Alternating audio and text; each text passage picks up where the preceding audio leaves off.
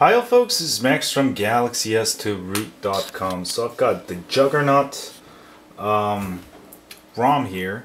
Sorry, I didn't insert a SIM card. Uh, too lazy. I have it on my Galaxy Nexus. Um, it's a very good phone, by the way, the unlocked version. But the signal is the T-Mobile T uh, Galaxy S2 gets much better. So as far as signal issues, there's some signal issues with the Galaxy Nexus.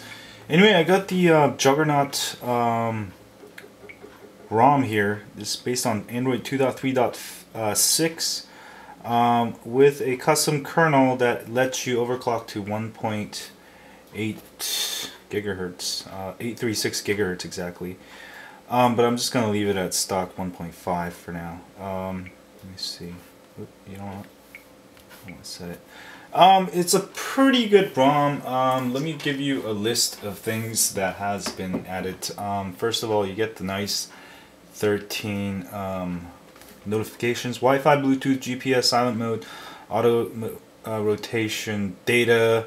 Um, that's good for people on um, limited plans, I guess. Sync, vibrate, um, reboot, shutdown.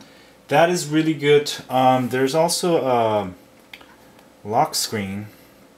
Um, you can choose different lock screens.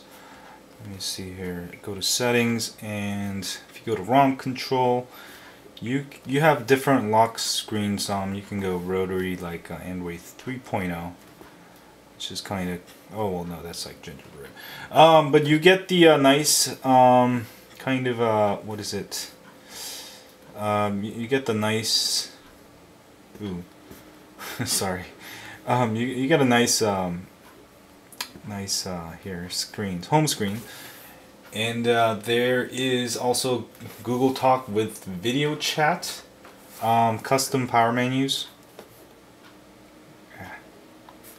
What happened here? Um, so you can reboot into recovery, hot reboot, download. Um, that's kind of cool. Uh, a lot of the bloatware is removed.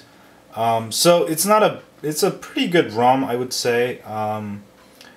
You know, I'm gonna keep reviewing more ROMs, but um, check it out. Let me know what you think. Um, this is one of the popular ROMs out there right now. Um, this is called the Juggernaut. Is that Juggernaut? I think so. Juggernaut um, ROM Vultures Edition from Team Kang. Um, pretty cool stuff. And don't forget to donate to the ROM developer Whitehawks. I'll have a links uh, below on my blog post when I post it over at my site at galaxys2root.com. Um, check it out. If there's any more ROMs you want me to review, don't forget to leave in the comments section. Um, I have a bunch of more ROMs for different phones, so uh, we're going on a marathon. So thanks y'all, subscribe, and see y'all later.